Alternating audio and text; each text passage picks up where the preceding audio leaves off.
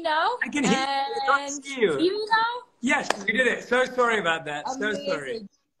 No worries. How have you been and which part of the world are you in? I'm in London right now and I'm coming to India on Monday.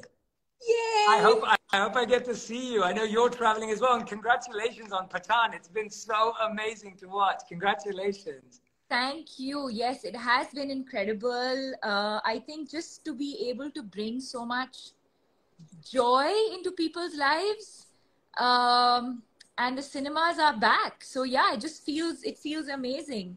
I feel like you've brought back theater. Like I feel like this movie has brought back. Like I haven't even internationally. Just so you know, L.A., London, New York. Like the the energy that this movie has brought back has I been can unbelievable. feel it. I can feel it in my bones. I can feel it. Love, it. I love it. Congra- you deserve all of it. Congratulations. I'm so happy for you and so proud of you. Thank you, thank you. But, but, but, this is about you and your new baby. um, I don't know if I'm allowed to say to people, but I'm the lucky one. Um, I got my hands on a copy. And um, so, Jay, because this says eight rules of love, I thought I'm going to try and stick to asking you eight Oh, questions No, about perfect. love and relationships, but because you and I can go on talking, I don't know if I'll stick to eight, but I'm going to try. I love it. Um, but I'm going to start by asking, and you know, I'm a really curious person, Jay. I'm always, you know, picking your brains. What, according to you, is love? I love that. That's a great question. And again, before we dive in, I want to say thank you to you for doing this. Thank you so much. You have such a busy schedule and I Not appreciate you so much. All right. So I define love as three things. Love is when you like someone's personality, when you respect their values and how they live them, and when you are committed to helping them achieve their goals. And then when they feel those three things back. So I try not to define love as this intangible, ethereal, magical thing because we've all looked for that and we haven't been happy. And when you look at love in this way, you realize, wow, okay, can I, I can actually check that. I had a friend who, someone asked me the other day, they were getting married. They said, Jay, how- how do I know if I should get married? And I said, well, do you like their personality? Do you respect their values? Do you even know what they are? Mm-hmm. And do you want to help them get to their goals? Do you know what their goals are? I think that's so helpful because I think most of us growing up, um, and I think the movies and music have a have a huge role to play in that. Where I think we're constantly going after that that crazy dizzy feeling, and when when that feeling subsides or when you don't find that feeling is when you start feeling disappointed, like you said.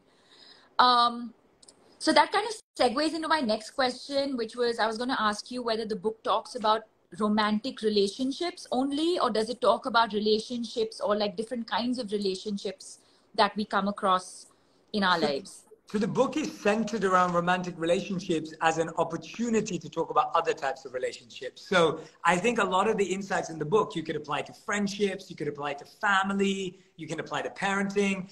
And I also think a lot of it applies to loving the world, loving the environment, loving the universe, loving your society, loving your community. And so I purposely wrote the book in a way that it's at the heart of romantic relationships, but people can use it and expand it out as well. So I hope that whether you're single and you're looking for love, whether you're married and you want to find the spark again or improve your relationship, or whether you just got broken up with or divorced or are going through a really tough time, the book's designed for everyone. It's not limited to just one area of life. Yeah, it felt it feels really inclusive Oh, in a way as well. Yeah. Yeah. Um, and how do you feel love has evolved over generations? That's such a great question. That's I I, no one's asked no one's asked me that I've yet. done is- A lot of homework, Jay. Like, know, I believe love it. talking to you, so I actually sat down and I have a You're the of questions. sweetest. You're the sweetest. I appreciate you so much.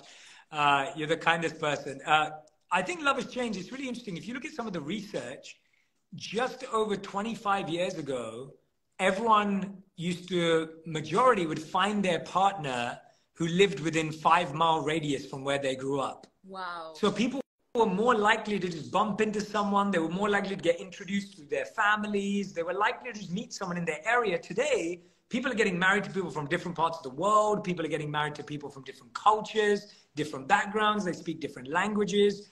So I think that love has become a lot more multicultural and multifaceted. I think another thing that's changed is massively gender roles. I think there were these previous gender roles that people felt they had to live up to in relationships. And I think today we're seeing that being completely taken away, which is brilliant because you're seeing so many families where the gender roles are completely switched. Uh, sometimes women are the breadwinners in a family. Sometimes uh, men want to stay at home and take care of the kids, and or there's a mix. Both people are working, and both people are sharing the responsibilities of the kids. And I think that that's a really special thing that we're getting to live at a time when opportunities are open and having the relationship you want is open.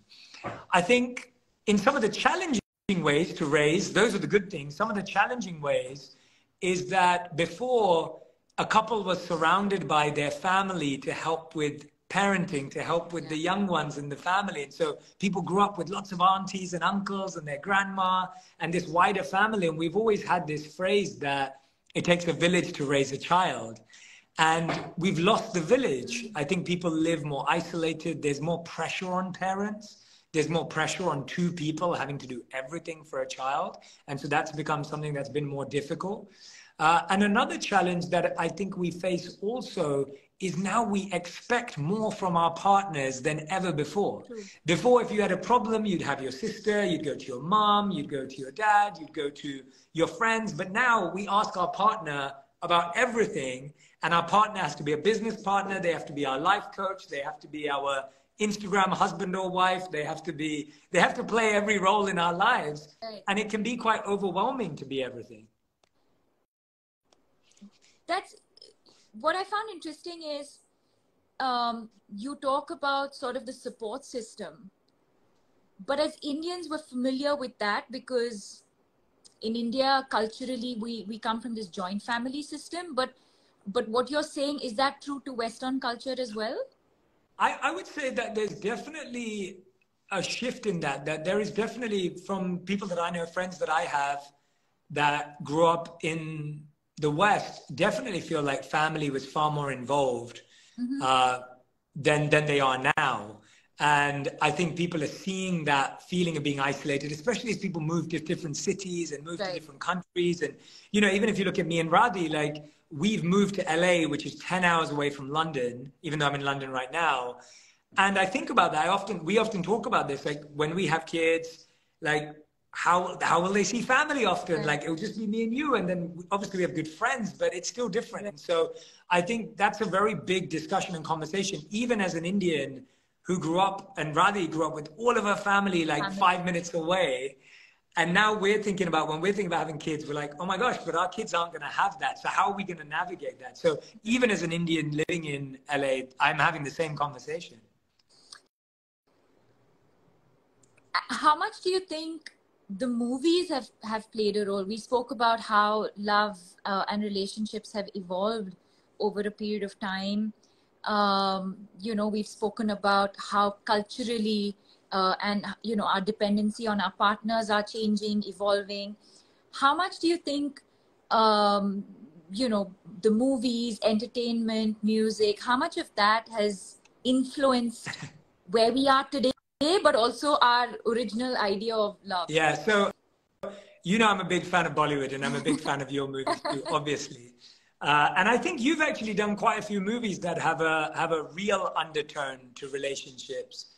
Uh, you know, I, I, think you've played so many roles that have uh, a connected, like relevant way of portraying love. So I don't think that all movies are portraying love in an unhealthy way. At the same time, I'm a I'm a I was born in 87 and the 90s were full of like the, the, the like really uh, intense romantic movies where love was just this special thing. And I grew up as a huge Shah Rukh Khan fan and, you know, you, you watch Shah Rukh's movies and yeah. you want to fall in love in that way. And yeah, you want to fall in love with Raj and Raj. Yeah, exactly. And, yeah. and you want to be Raj. As a guy, you want to be Raj. And, oh, that's and I a lot think, of pressure. Yeah, a lot of pressure. And I, and I think that I often tried to be Raj and failed, or or you try right, or you or you try and find someone uh, perfect uh, that that also doesn't work. And so what I found was that I think the ideologies that I think unhealthy ones I'd like to point out, not movies, but the ideologies. I think a lot of ideologies were the damsel in distress, that the woman is lost, she's confused, she's stuck, and then a man is going to come and save her. I think that ideology is an unhealthy ideology that exists in some movies that you have a woman who's completely lost. And the other idea is that you're broken and someone is going to fix you. So you see a lot of movies where one of the characters, it could be a man, it could be a woman, they're broken and that they're lost and stuck. But as soon as they met a woman that changed their life, or as soon as they meet someone, it changes their life. And I think those ideologies is what we need to extract. Movies are entertaining. I love movies. I get so much from them. And I don't think we should ever stop making entertaining, amazing movies. Yeah. But I think as a viewer, we have to discern and we have to know the difference between this is fun, it's entertaining, it's amazing. But, but then in my real life, I shouldn't take this ideology and think I'm broken or a man is going to come and save me or someone's going to come and save me. Or that there's going to be violins playing when I have a proposal or there's gonna, that there's going to be this beautiful, you know, outfit change in the middle of my wedding or whatever it may be. Yeah, I think like that idea of perfection, right? Like sometimes the guy is proposing to you and he drops the ring, I don't know. Like, uh, I think just the idea of perfection that you know that we were talking about. There's, I think we need to manage expectations, and like you said, I think answer the three most important questions. Um, how have you and Radhi sort of you know your relationship and both of you are busy and both of you are traveling and um, how have you managed your relationship yeah it's it's been hard right it's challenging it's not it's not easy when you live busy separate lives with work or you live across uh, countries because Radhi wants to be in family with London sometimes. I'm in LA. We've talked about that many times. Yeah. And I find that that's why it takes a lot of communication around a few things. The first thing is we need to communicate around what we're going through right now. So often I'll say to Radhi, hey, you know what? For the next month, I'm going to be traveling. Uh, I want you to know that I love you, that I'm here for you, that I care about you. If you ever need me, I'll drop everything and be here. But I'm going to be preoccupied for the next month. I just want to make you aware. And I think often we don't communicate in a caring, compassionate way. We just do our life. Yeah. And then a month later, I'll say that again. And then assume that both partners are on the same page. Exactly. Yeah, we assume that our partner just understands, they know, they'll figure it out, but we have to communicate that. I think a second thing I'd say is that we have to communicate who our partner is and how much they mean to us every day, every week. I think often we don't say, I love you in a deep way. We may just throw it around and say, Oh, I love you, bye. Like, but to, to really express to our partners what we appreciate about them, what we value about them, we shouldn't forget to remind the people we love the most. Often the people we love the most, we treat the worst. and take for granted. And take for granted. And they deal with the they deal with the worst parts of us and you know they tolerate us, but we don't acknowledge them. And the third thing to communicate about, I think, is when there is a challenge, when there is something that we're struggling with, I think often we think, oh, no, no, I better not say it because it will start a fight or I have to suppress my feelings. And I think instead of learning to argue, we have to learn to healthily bring up our challenges. And the way we do this is we don't say, you make me feel like this, or this is how you make me feel, or you're the problem. I think when we do use that language, we push someone away.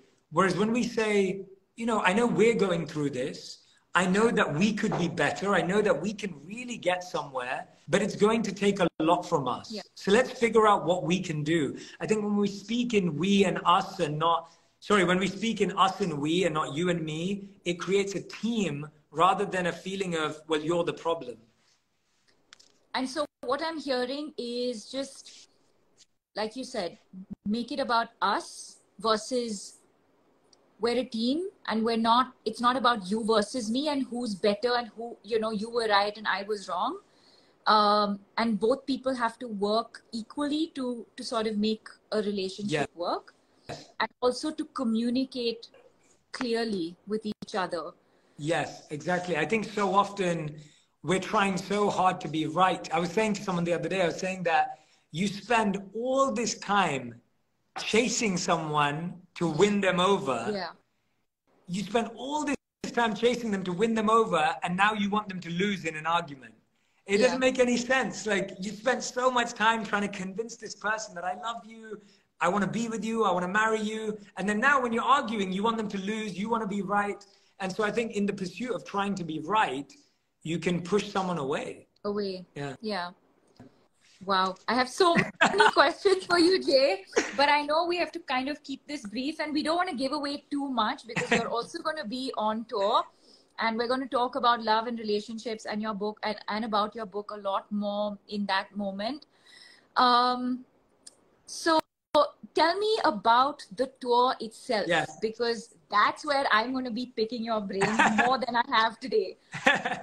so on the tour, I'm going to be visiting India. I'm so excited because I've never actually, and even this is the first thing, really, doing it with you, which is so special for me. I'm so grateful to you. Uh, I've never come to India professionally, like since I started doing what I do. And so this is very exciting to me to come to the country that I believe has given me the spiritual essence and foundation of all my work. I mean, all I'm ever doing is quoting our literatures and our teachers and our guides from our beautiful country. And to be able to come there to be present with my amazing community there is so special. And so i'll be on tour in india. I'll be doing a special q&a i'll be signing books i'll be sharing more messages from the book and i'm, I'm Tell so us, excited tell us your dates. I know you're going to be here in May. Uh, I also know you're going to be in Bangalore and in Mumbai. yes i'm going to give Uh, you the exact dates right now for everyone who's listening Yes. So May 2nd, I'm in Mumbai at the Tata Theatre. May 3rd, I'm in Mumbai at the Tata Theatre. May 5, I'm in Hyderabad. And then May 6th, I'm in Bangalore. So there's a lot of India dates there. And I would love to see as many of you. Well, I can tell you that India is really looking forward to to having you here. Um, I know a lot of people want to talk to you and and listen to you. Um, and we cannot wait for you to be here Oh, in you. May. Um, yeah. Is there anything else that you think we should talk about or, or we should cover? I, I just want to thank you. I, or we'll uh, be giving away all of the books. yeah, no, I, I honestly just want to thank you for being my friend, for being in my life, for supporting me so wonderfully with this very important project in my mm-hmm. life. I want Not at all. I want everyone in the world to have more happiness and joy and purpose in their relationships. I don't think we we don't understand how deeply connected our mental health and well-being is to the quality of our relationships. We don't realize that. We think it's just exercising and eating the right thing and that all of that's important, but if you have an argument with your partner, it affects your mental oh, health Oh, in a much different way. And so I just want people to live happier, healthier, healed marriages and relationships. And so thank you for helping me in my mission. Thank you so much. and I can't wait to see at all. Like, I mean, I have so many more questions for you, like why this topic and all of that. But we'll we'll chat. We'll chat uh, We more when we meet. Thank you so Thank much. Deepika. thank you for thank you for choosing me to do this with you. Uh, I feel grateful, and I will see you very Def- very soon. Definitely. No one better to do it with. And, and please save this because I want to share it afterwards as well. Absolutely. Thank you, everyone. Thank you, everyone, who tuned in. I love all your comments and uh, uh, I really appreciate all your positivity and good energy. And for anyone who wants I can see so many so many. venues. Venue people want to know the venues for Hyderabad and Bangalore. So I'll give you two websites, everyone. Uh, if you would like to order the book, it's out. It's at eightrulesoflove.com, eight rules of thought. So the title, eightrulesoflove.com.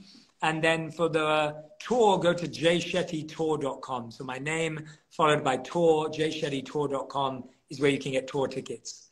Um, but thank you, Deepika. Thank you so much. And thank you, everyone. Thank you, everyone, for tuning in. Bye, Jay. Bye, Deepika. See you Bye. soon. Thank See you. you. Bye. Bye. Bye.